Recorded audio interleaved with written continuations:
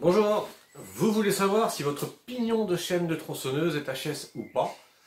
Eh bien cette vidéo-là va vous intéresser. Allez, on y va Donc notre pignon de chaîne. Voilà comment ça se présente. Notre pignon est là, commandé par l'embrayage. L'embrayage qui est derrière. C'est en fait un pignon, mais c'est également une cloche d'embrayage finalement. Certains modèles ont une cloche d'embrayage avec une bague euh, qui fait office de pignon, une bague interchangeable qu'on enlève et qu'on remet.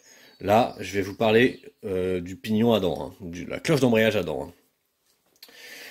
Donc, quand on accélère, notre embrayage vient coller notre cloche, vient faire tourner notre cloche avec le pignon et vient entraîner la chaîne. Mais cette pièce-là s'use. Je vous montre des pignons, je vais vous montrer trois pignons pour vous montrer l'évolution de l'usure et à quel moment il faut remplacer notre euh, pignon. Un pignon, pour ainsi dire, quasiment neuf. Aucune déformation, aucune marque sur le pignon. on regarde toujours le pignon, les dents, l'état d'usure des dents. La cloche en elle-même, euh, ça s'use pas vraiment. Honnêtement, le pignon s'use avant la cloche. C'est très rare d'avoir une cloche complètement, euh, complètement HS et un pignon en parfait état. Moi, j'ai jamais vu ça. En tout cas, pas sur une tronçonneuse. Donc voilà à quoi ça ressemble. Donc là, il n'y a pas d'usure. Ça, c'est un pignon en parfait état.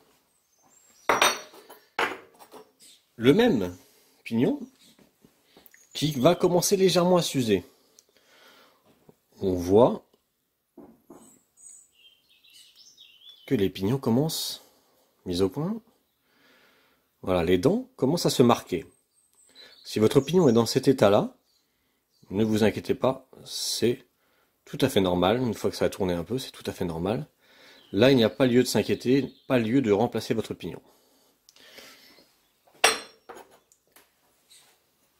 Quand votre pignon va commencer à être usé comme ceci, allez, décidément, les mises au point, c'est pas évident.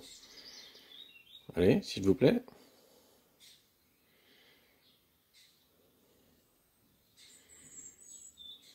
Là.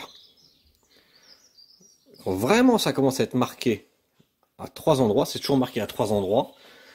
Alors, c'est toujours marqué au milieu là. Attendez, parce que là la mise au point, ça me plaît pas du tout. On va se mettre comme ça. Est-ce que ça lui plaît mieux?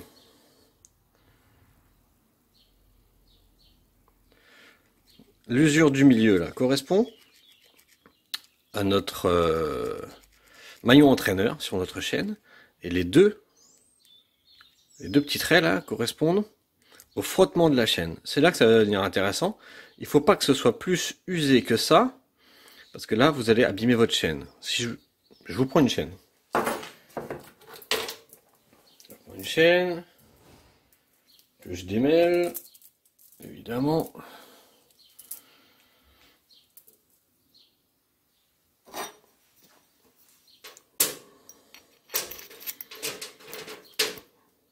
Voilà comment ça, se présente. En, fonction, en fonctionnement, le pignon va venir tourner. Allez. Va venir tourner et entraîner notre chaîne le maillon entraîneur qui est ici, pardon, le petit maillon entraîneur là, là, va venir finalement frotter sur le pignon au milieu. C'est le trait du milieu que je vous expliquais.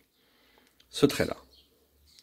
Et les deux traits sur les côtés, c'est en fin de compte notre pignon qui s'use et notre chaîne, le bas de la chaîne, le bas de notre maillon qui vient frotter ça vient frotter, frotter, frotter, ça, ça vient limer finalement jusqu'à user le pignon, mais également user la chaîne. Je vous ferai une autre vidéo sur comment savoir si votre chaîne est HS. Et donc là, dans notre cas, le pignon est bien usé aux trois endroits. Là, si on utilise une vieille chaîne, on peut continuer à s'en servir. Vous aurez peut-être des, petites vibrations dans la machine, des petits bruits métalliques pas très catholiques, mais vous pouvez toujours l'utiliser. Par contre, attention, ne mettez surtout pas une chaîne neuve sur un pignon usé comme ça, vous allez très vite abîmer votre chaîne. Voilà, donc si vous avez un pignon dans cet état-là, votre chaîne, vous continuez à vous en servir, mais quand vous aurez besoin de changer votre chaîne, il faut également remplacer le pignon. Voilà ce que je peux vous dire sur, euh, sur le pignon. Euh, l'usure de la chaîne, si vous mettez une chaîne neuve sur un pignon comme ça, c'est que votre chaîne très rapidement s'user ici, et le frottement ici va faire que votre chaîne va chauffer et se détendre. Ça, je reviendrai là-dessus sur une autre vidéo, savoir comment reconnaître une chaîne HS ou pas. Voilà, donc si on a un pignon dans cet état-là, on s'alarme pas, mais la prochaine fois qu'on change la chaîne, on change également le pignon. Voilà, j'espère que ça vous a aiguillé. Allez, à bientôt pour une autre vidéo. Ciao Merci d'avoir regardé cette vidéo. Si elle vous a plu, je vous invite à vous abonner. Et si vous avez besoin d'aide, de me commander des pièces ou tout simplement de discuter avec la communauté, c'est le bouton rejoindre. À bientôt